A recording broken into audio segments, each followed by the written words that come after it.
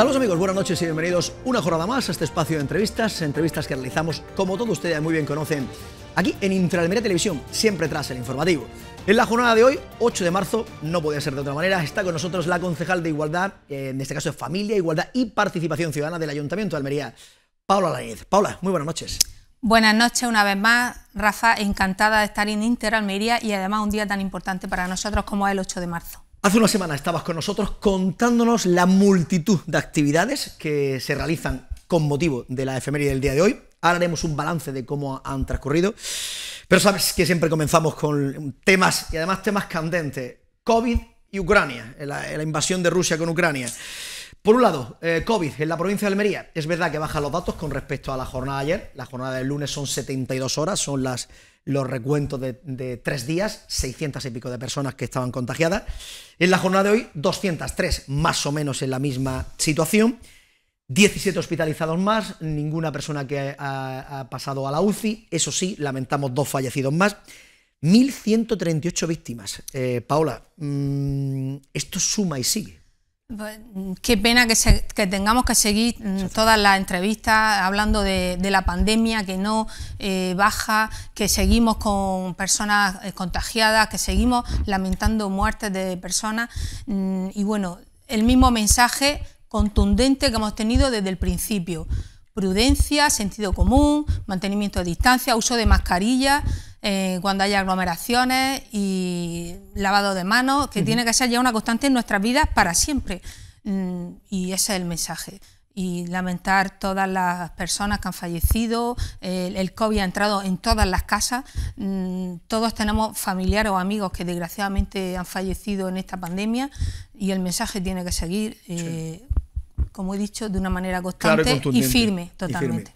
Eh, Paula, eh, y también, bueno, el tema de la vacunación, por no ser reiterativos eh, en todas las entrevistas, pero vacunarse es fundamental, que haya personas que piensen que todavía no, esto no es la solución, cuando se está viendo que, que los que están muriendo, el 80% de los que están en la UCI y finalmente mueren, son porque no se han vacunado. Sí, pues tengo un conocido precisamente, la semana pasada cogió el COVID, me he enterado que no está vacunado y ya está en la UCI con una neumonía.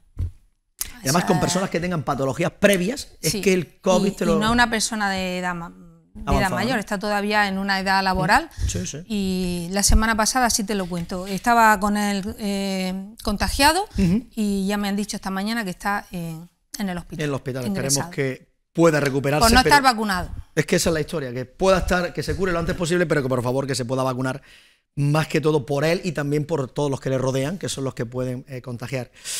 Eh, Paula, eh, decíamos temas candentes. Por un lado el COVID, por otro lado la invasión de Rusia a Ucrania. Estamos viendo las imágenes dantescas que se están viendo en televisión.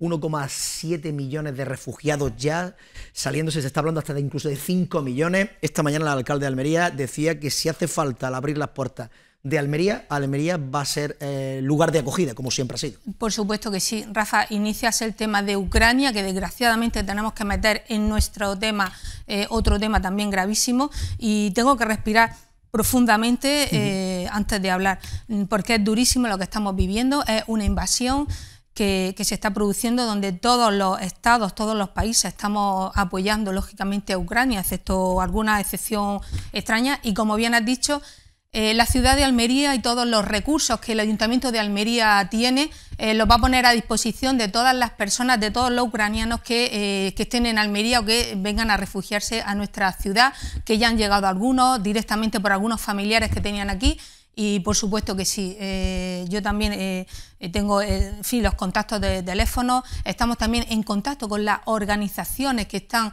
colaborando ya, que están institucionalmente bien organizadas y lógicamente poniendo todos nuestros recursos, todo nuestro apoyo en esta ayuda humanitaria en la que todos nos debemos de sumar.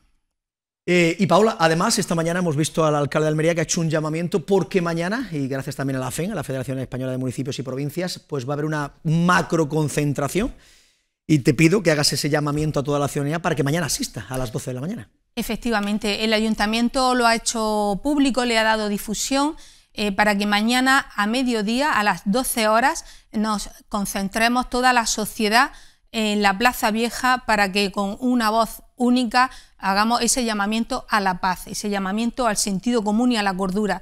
Eh, y bueno, y también decir que el Ayuntamiento de Almería va a poner todos los recursos que tiene, que tiene a su disposición para todas las personas que, vengan a la ciudad de Almería a refugiarse, como ya han venido algunas personas, ayer lo decía el concejal de, mm, el concejal de Economía y Función Pública, efectivamente, que se está facilitando lógicamente el empadronamiento para que cuanto antes puedan ser beneficiados pues, de la ayuda económica y de todos los recursos y servicios que, podemos ofrecerle a estas personas. Hacer un llamamiento también a la ayuda humanitaria. Nosotros estamos en contacto con las instituciones que a nivel internacional están en la zona para, lógicamente, como ciudad y como institución, eh, apoyar esa, ayuda en todo lo que sea posible. Por supuesto que sí. Importante el, apoyo, como no puede ser de otra manera, del Ayuntamiento de Almería a todas aquellas personas que eh, lo necesiten y que puedan refugiarse aquí en nuestro país, en nuestra capital. Eh, centrémonos en los actos eh, de la mujer. El pasado martes contábamos de cómo iba a ser la cantidad de actividades que iba a haber. El acto central se ha celebrado en la jornada de hoy, a las 11 de la mañana, el Salón de Pleno del Ayuntamiento de Almería, con las cámaras de Interalmería Televisión en directo, donde se ha hecho entrega de los galardones a ocho mujeres. Eh, cuéntanos cómo ha sido ese acto. Sí, pues es una gala. Y en honor a esa gala, pues todos nos hemos vestido de gala esta Como no puede ser de otra manera. Efectivamente. Ahí tenemos las imágenes para el Ayuntamiento de Almería pues es uno de los actos, o yo diría el acto institucional más importante en torno al 8 de marzo. Eh, lo fue eh, el pasado día 6 con la carrera como importante por la cantidad de personas que participan, 1.300 eh, personas en esta edición, y este acto importantísimo por la solemnidad que tiene y por la bueno por, que merecemos y damos ese merecimiento a esas mujeres talentosas, poderosas, que han destacado en las distintas categorías que se le han reconocido. Que las vamos a ir nombrando una a una en la trayectoria profesional, Aurea Martínez Navarro.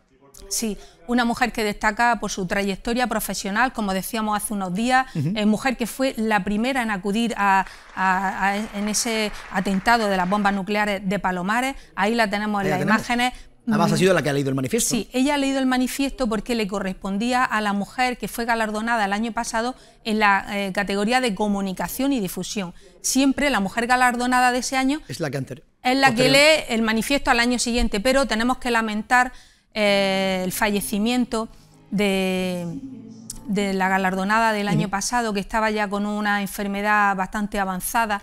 Y bueno, hoy también le hemos eh, rendido ese homenaje es muy merecido y por eso ha sido Aurea, porque este año teníamos dos periodistas y entonces hemos dicho, bueno, pues Aurea sería la que ha leído el manifiesto. Por ir un poco rápido, solidaridad a María del Mar García Beltrán, Deporte, la Unión Deportiva Almería Femenino, Lucha por la Igualdad a Maribel Ramírez Álvarez, Comunicación y Difusión María Jesús Recio, que es la que decías, la, la siguiente periodista, que ha sido periodista también, Investigación Josefa Masegosa, Emprendimiento Susana Márquez y Cultura y Educación María Dolores Peña. Efectivamente, mujeres todas merecedoras de este reconocimiento. Eh, ha sido un acto muy emotivo. Las palabras que ha dicho cada una de ellas nos ha emocionado a, todas las personas que estábamos allí. Y, la verdad es que el salón de pleno estaba mm, con el aforo al máximo, todas las autoridades que han ido, la representación de las instituciones, que eso lógicamente eh, pues agradecemos también porque le están dando un respaldo a un a un acto que el ayuntamiento es para nosotros muy importante. Y bueno, ya pensando en el del año que viene. Efectivamente. pensando en el del año que, viene, efectivamente. Eh, continuamos porque son muchas las imágenes que queremos recordar de cómo han sido estas actividades. Lo importante, eh, mm, la participación, se puede decir, porque desde el pasado día 4, que fue cuando se comenzaron con las actividades, eh, la primera de las imágenes que vamos a ver ahora ha sido la de Agen Femenino, esa eh, conferencia que hubo, ya se notaba como en el Museo de la Guitarra había cantidad de gente. Sí, eh, así es. Además, eh, así nos comentaba la Asociación de Jóvenes Empresarios que de todas las ediciones que han hecho del proyecto Ángel Femenino, este ha sido el que más participación ha tenido. Y bueno, nosotros nos ponemos a disposición de la asociación para este proyecto, para futuras ediciones que quieran hacer, nos tienen a su disposición porque tenemos también que poner en valor la valía, y valga la redundancia, de mujeres empresarias que están destacando con su esfuerzo, con su talento, no por ser mujeres, sino por su seriedad, su constancia, su, tesón, como fue el caso de la historia que nos contó María Dolores Morales, eh, la cofundadora y directora general de Biosabor. y, bueno, a, todos la verdad que también nos emocionó su, historia, ¿no? las dificultades que se ha encontrado, cómo ha tenido que, partir de cero y empezar de cero muchas veces, que también hay que saber caerse y volverse a levantar. Y, nosotros estaremos siempre poniendo en valor todo esto. Eso se llevó, a cabo, se llevó a cabo el pasado día 4, el día 6 todos los viernes, empezó el primer viernes con esas masterclass que durante este mes vais a llevar a cabo. Sí, todos los viernes del mes de marzo vamos a continuar con esta masterclass que por medio del flamenco y de su fuerza queremos empoderar a las mujeres. Hay que decir que el viernes por la tarde amenazaba lluvia, estaba el, cielo sí, encapotado totalmente. y a pesar de la lluvia que caía en Almería, que para nosotros algo inusual, eh, hubo pues mucha participación, así es que estamos convencidos y convencidas que en las próximas ediciones a, las cinco y media de la tarde todos los viernes vamos a tener más participación. Y, también las personas se divirtieron, que... Mm, Ahí también, también, te vemos a ti también sí, porque yo dándolo todo. Yo me arranco con facilidad. Con facilidad. Sí. Y bueno, pues estaba allí y dije, bueno, ¿y por qué no...? se ve que, que, la gente también, la participación... ¿Y por qué no voy a participar yo también? Si soy una mujer... Totalmente. Como las demás. Claro que sí. Y también femenina y feminista, las, dos, cosas, las dos cosas. Las dos cosas. Y bueno, pues yo me reía, ¿no? Porque me hacía mucha gracia eh, y lo, hizo muy bien, eh, lo hizo muy bien Herrera. la que ella está llevando estos, estas masterclass, y bueno pues y además se hace en la calle se le da visibilidad eh, y las personas y luego también la gente cuando está viendo que están bailando también se pegan y se ponen un poco ahí también a aprender tenemos ganas de participación tenemos ganas de actividades tenemos ganas Mm, de, cosas buenas. Lo que tenemos cosas buenas es lo que pasó el pasado domingo. Ahí sí que hubo gente, esas 1.300 personas, que es lo que permitía en este caso el aforo que se había puesto sí. por que no hubiera ningún tipo de problema, en la novena carrera de la mujer. Sí, efectivamente. Qué bien salió la carrera, ¿eh? Allí te vi a ti. Sí, ahí estábamos, con, dando también con tu niña y muchas caras conocidas que vi. Y, la verdad que también nos acompañó el tiempo, porque estuvo, eh, había amenaza de lluvia y salió un sol maravilloso para darle luz y calor a tantas mujeres y a tantos hombres que corrieron con una meta única, que es la igualdad, es nuestra meta. Mm, y en los límites estaban puestos lógicamente por la organizadora, eh, mil dorsales para adultos, 300 para menores, agotados, mm, un día de convivencia, un día en el que la gente se lo pasó muy bien, donde hubo baile, hubo actividades para nuestros peques mm, y, muy ilusionados de volver a hacer esta carrera después del parón que tuvimos que hacer el año pasado. Una carrera que no olvidemos que tiene un carácter reivindicativo, porque celebrar el Día de la Igualdad significa eh, recordar las desigualdades que desgraciadamente eh, seguimos las mujeres eh, padeciendo y viviendo en nuestro día a día. queda mucho camino por recorrer. Hay que hacer un llamamiento también al respeto. el rechazo a la violencia de género, al abuso. Son seis mujeres las que llevamos ya en, estos datos Mm, tremendo y terrorífico, seis mujeres que han fallecido en lo que va de año, ni una mujer más muerta, respeto, eh, tolerancia y, ese es el camino en el que tenemos que estar continuamente. Que esto tendría que ser un día de fiesta, pero hay que ser realistas y hay que lanzar estos mensajes desde el respeto, que por eso también estamos trabajando en las bases, en la educación y en el lema de nuestra campaña de este año que dice, trabajamos hoy para la igualdad de mañana, ¿no? Y hemos visibilizado, pues, niñas. Tenemos que trabajar hoy para que esas niñas tengan las mismas oportunidades cuando sean mujeres del futuro. Y además, eh, todo lo recaudado en esa carrera también se va a destinar a un fin bastante importante también. Sí, siempre hay un carácter solidario y durante otros años se ha destinado también a asociaciones que hacen una labor muy importante, como las asociaciones que trabajan con las mujeres que son víctimas de trata con uso de explotación sexual. Y bueno, y este año la recaudación ha ido para la Asociación de Mujeres Cooperativistas en el Agroalimentario GEA, que está haciendo una gran labor porque está visibilizando a las mujeres en un, lo decíamos el otro día, ¿no? En un campo que está totalmente masculinizado, que es la agricultura, y ellas están consiguiendo que las mujeres estén en los equipos de dirección de las cooperativas y, es importante, si dirigen solamente y piensan solamente los, hombres, pues van a pensar en masculino y hay que pensar en igualdad. En igualdad. Eh, y por terminar, penúltima cosa, penúltima imagen que vamos a poner, eh, lo que aconteció en la jornada ayer tarde, porque eh, todas las instituciones, todas unidas por la igualdad, iluminación de color violeta morado, las fuentes de la capital almeriense en la jornada de ayer y durante esta noche, que también van a estar encendidas. Sí, mm, esto es un proyecto que nos ilusiona muchísimo, que lo hemos hablado ya en alguna ocasión.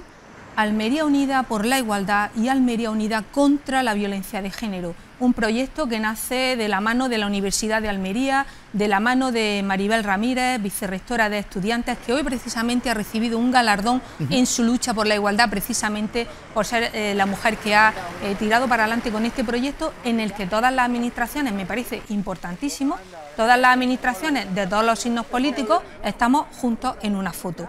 Eso es muy importante, Rafa, porque si los representantes políticos eh, nos dividimos, ¿qué mensaje es el que estamos trasladando a la sociedad? y yo quiero aprovechar este momento eh, que me das, que me dais, porque eh, esta tarde habrá una manifestación en la calle por el 8M y hay dos manifestaciones convocadas con itinerarios diferentes en el que no se encuentran unos con otros. Y bueno, yo hablaba con una persona que está vinculada o muy bien relacionada eh, con este movimiento feminista, del que yo también me considero feminista porque he sido feminista toda mi vida. Y, la verdad es que nos gustaría que hubiera una sola voz eh, por la igualdad.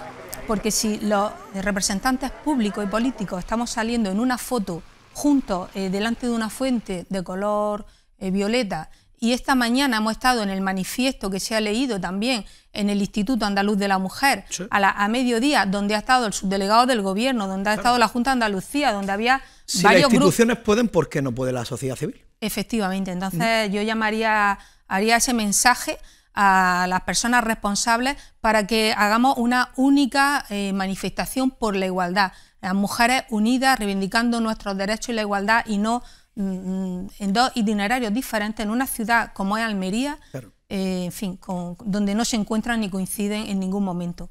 Mm, creo que ahí hay trabajo Había que hacérselo eh, notar y ver qué es lo que pasa porque que haya dos organizaciones feministas, pero es que todas las mujeres que estamos en esa manifestación somos feministas. Y aunque cada uno pueda tener su ideología eh, o, más, pero al final tenemos que estar todos juntos.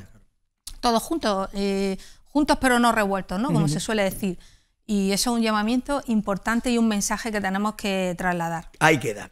Y he querido dejar para lo último, eh, por el tema también, como es concejal de eh, Familia, Igualdad y Participación, la inauguración esta misma mañana, a las 9 de la mañana, de lo que es ya el tercer el centro de la mujer en Los Molinos, que estaba esta mañana allí inaugurando un centro que se ha quedado precioso, ¿no?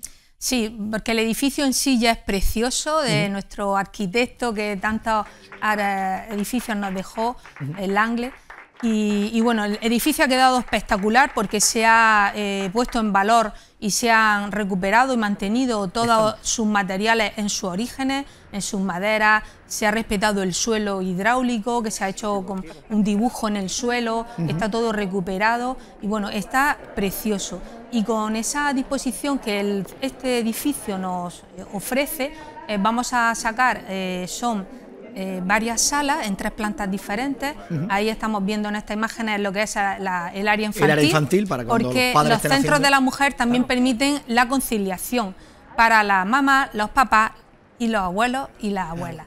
Mm, y, bueno, habrá actividades para trabajar eh, lo que es el tema de salud, del cuerpo físico, también eh, todo el tema de salud también mental, talleres de autoestima, talleres que lo imparten psicólogos, eh, lo que es el tema de gimnasia. En un principio se han puesto en marcha los talleres que más éxito tienen y más eh, demanda tienen, eh, los otros centros de la mujer, aunque nosotros hemos mantenido una reunión con todas las asociaciones de vecinos y de mayores para dar a conocer el centro y estaremos siempre escuchando a los vecinos y a los usuarios, que es lo que tenemos que hacer. Y en función de sus necesidades también y de sus peticiones, pues irán eh, desarrollando estas actividades. Me dicen los técnicos, los técnicos que trabajan allí que cuando eh, podamos tener eh, a pleno rendimiento, sin las limitaciones de aforo, que ahora mismo tenemos que tener por la situación de pandemia en la que todavía estamos, van a poder pasar por ese centro entre 600 y 1000 personas